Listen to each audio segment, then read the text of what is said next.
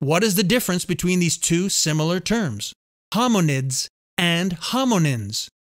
Okay, hominid, which ends with the letter D, describes the family of great apes who share a common ancestor, which presently includes humans, chimpanzees, gorillas, and orangutans. Hominin, which ends with the letter N, is a subfamily which presently refers to humans and their close human like extinct relatives, such as Neanderthals.